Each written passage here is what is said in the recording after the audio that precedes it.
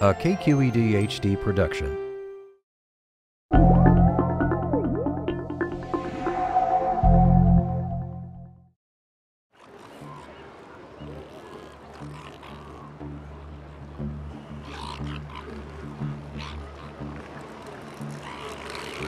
Every winter, thousands of very loud, large visitors storm the beaches of Año Nuevo State Reserve, a jagged stretch of coastline 60 miles south of San Francisco.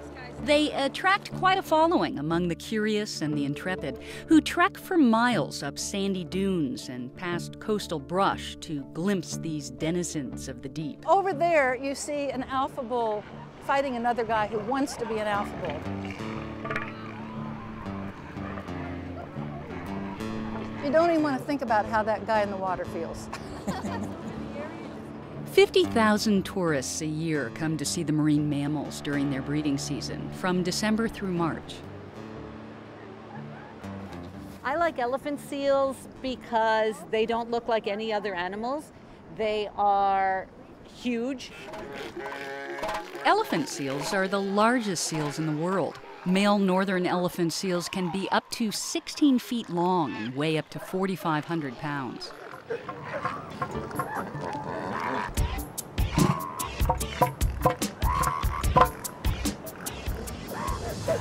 Brawn trumps brains as the males fight for the much smaller females who congregate in harems dotting Año Nuevo, which was named for the New Year's Day in 1603 when it was first spotted by Spanish explorer Sebastian Vizcaino.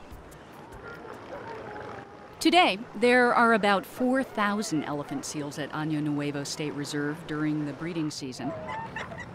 It's a testament to their astounding comeback from near extinction roughly 100 years ago. The animals were exploited for their uh, blubber, which was reduced to a very fine oil. By the 1890s, only about 30 elephant seals survived, confined to Isla de Guadalupe, a volcanic island off the coast of Baja California. In 1922, scientists from the California Academy of Sciences made a survey of rare animals on the island. They found a small herd of elephant seals. A few months later, the Mexican government declared the island a protected reserve. All of the 170,000 elephant seals that exist today trace their lineage to the 30 individuals that survived on Isla de Guadalupe. Today, the population of northern elephant seals is robust, with breeding colonies scattered from Point Reyes National Seashore to Baja California. And for male elephant seals, mating is a high stakes game with few winners and lots of losers. One male may monopolize mating in an ideal situation with up to 100 females. With their noses inflating with air, the males trumpet their battle call. And it's not just the tourists who return year after year, captivated by these strange, striking leviathans living life on the edge. They just really are amazing animals. I mean, everything they do, it's to the extreme. They're extreme divers, they're extreme fasting animals, they're extreme in their ability to conserve water. Marveling at their massive girth splayed across the sand, athletic may not be a word that readily comes to mind, but they can dive and swim past much of their animal competition. Elephant seals are really animal Olympians. When it comes to diving, the only other group of marine mammals that even come close to them is the sperm whale and beaked whales. They're diving to routinely between 1,500 and 2,000 feet of water, and occasionally they'll dive for almost two hours. They have an incredible ability to store oxygen. 20% of their body weight is blood, whereas in you or I, it's about 6 to 8%. Of that blood, more of it is red blood cells, so that 65% of that animal's blood is red blood cells, where in humans, it's about 40 to 45%. Elephant seals also travel twice a year, up to 12,000 miles, to forage for food such as fish and squid. So, studying them when they're underwater for most of their lives requires high tech tools. And if you go to this textbook from 1990 on pinnipeds, here's where we thought the distribution of northern elephant seals up from Vancouver Island up here down to the middle of Baja California, and then a few hundred miles off the coast.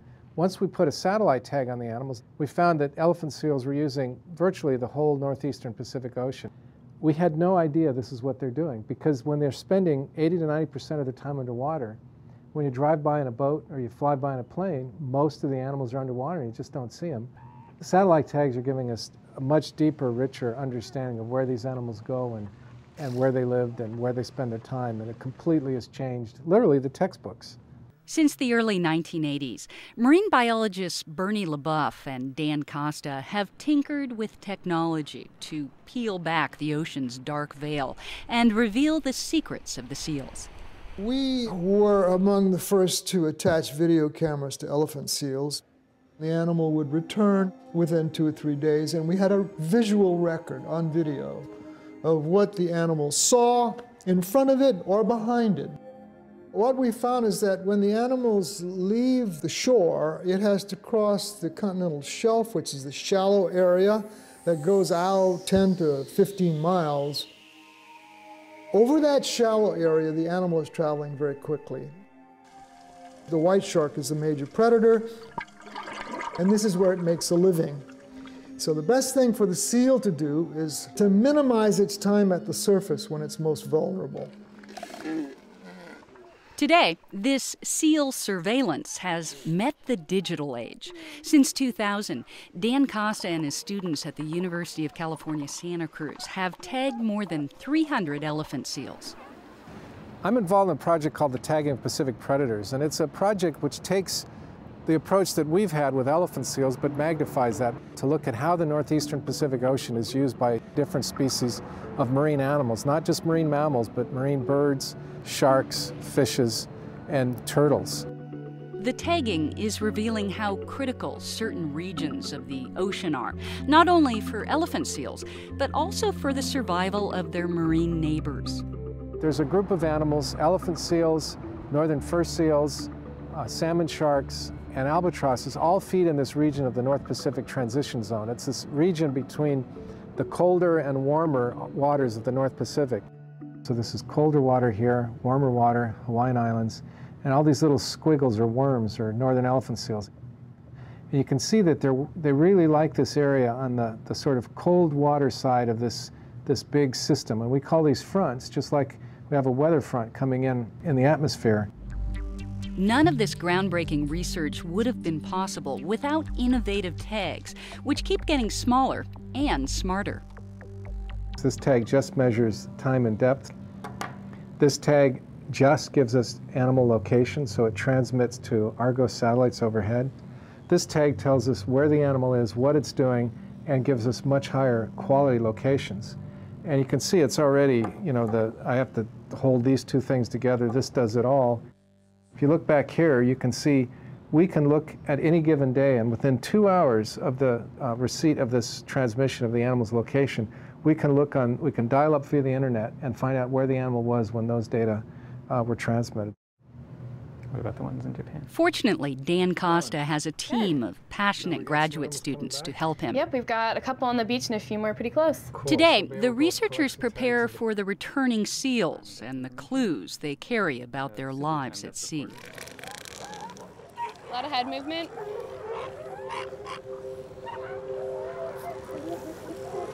We're at Año Nuevo State Reserve in Northern California today, and we're here to recover satellite tags from an adult female northern elephant seal. So on a typical day where we're retrieving a satellite tag, we locate the female that we've been watching.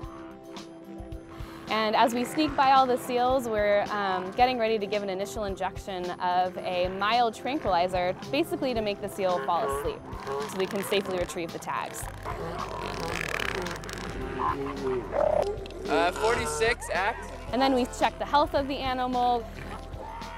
And looking at her, she's probably about 500 kilograms. So she's quite a large northern female elephant seal. She's off. Someone read it? 547. 547. We start taking measurements like blubber thickness, blood samples, and we also take whiskers. This essential fieldwork is also a reminder of the cycle of life and loss, which marks the breeding season. She did not have a pup with her. She has given birth, and we have observed her for multiple days with a pup, but sometimes in the craziness of the harems with male fights and things, they lose their pup.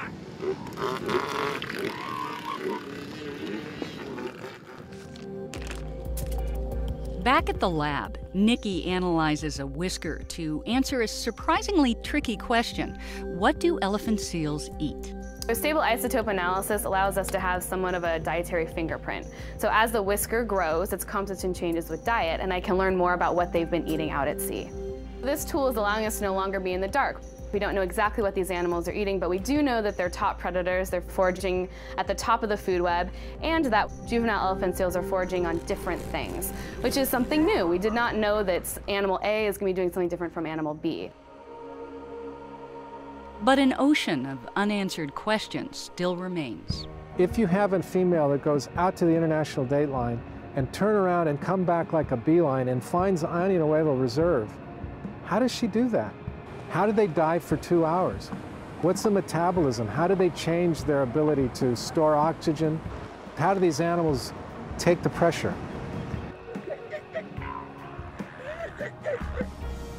It always amazes me that after all these many years of studying these animals, that there's still so much more to learn. It's what drives me. It's what drives a lot of us that do this.